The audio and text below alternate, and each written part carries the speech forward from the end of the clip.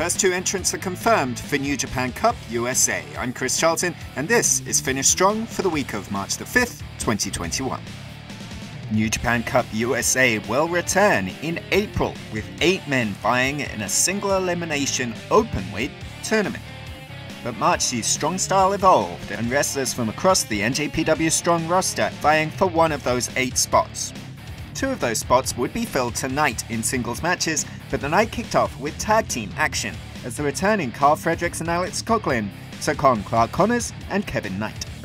With Coughlin finding himself the new captain of the LA Dojo after Clark Connors graduated and returning from a neck injury as his partner Fredericks came back from a shoulder injury, Coughlin and Knight had an exciting exchange on the mat, for Alex opened up with a lot of aggression in the corner on the new young lion. The match only continued to get hotter as Clark Connors tagged in and had a heated exchange with Karl Fredericks before Karl was caught with a body slam for two. When Fredericks and Coughlin took control again, Alex showed his submission prowess with some innovative bow and arrow work on Kevin Knight, but Coughlin would take a huge pounce and a spear from Connors before a gorgeous dropkick from Knight. The dojo newcomer pushed as hard as he could, but in the end, as Alex tossed Clark clear out of the ring with a huge fallaway slam, Knight was left alone with Fredericks to take a rear naked choke and the MD for the win.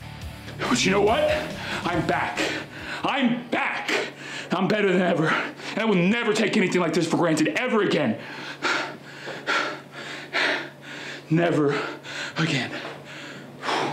The second match of the evening was our first New Japan Cup USA qualifying bout, as the DKC faced the tough challenge of filthy Tom Lawlor. DKC tried to hit and run on Lawlor with a dropkick and a slam on the floor and a Northern Light suplex that worried the MMA master, but it wasn't too long before Tom Lawlor got the upper hand. Lawlor was dominant in the corner before tying up the DKC and landing some hard strikes from a cravat before a classic figure four. LA Dojo's new young lion showed his guts, going for hard strikes and quick pins, but a devastating front slam led to a rear naked choke, and then the PK, Tom Lawlor being our first official entrant in New Japan Cup USA 2021. But New Japan Cup USA is an open weight tournament in 2021, and to prove that, the second entrant was guaranteed to be a junior heavyweight as Lio Rush took on Rocky Romero. Former high school amateur Rush and proficient grappler Rocky Romero decided to grapple on the floor and they matched one another hold for hold. But Lio Rush had the speed edge. Rocky fought back with a rewind kick and targeted the arm, which meant Rush had to use his feet to break free of the veteran's grasp. Romero brought some hard hits with a springboard dropkick and the forever clotheslines, but forever ended with a second rope lariat and a falcon arrow from Rush. As the intensity of this match grew, so did the pace, and the bout all ended with a sequence of roll-ups that saw Lio Rush come out on top to join Tom Lawlor in the New Japan Cup USA 2021 lineup. Meanwhile, New Japan Cup action is going strong in Japan.